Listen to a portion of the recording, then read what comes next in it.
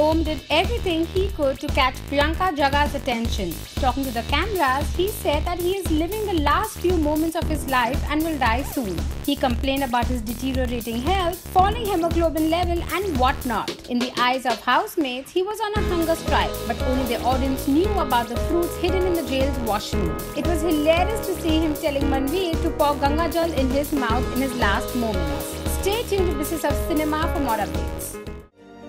Hi everybody, I'm Shah Khan and watch me only on facebook.com slash business.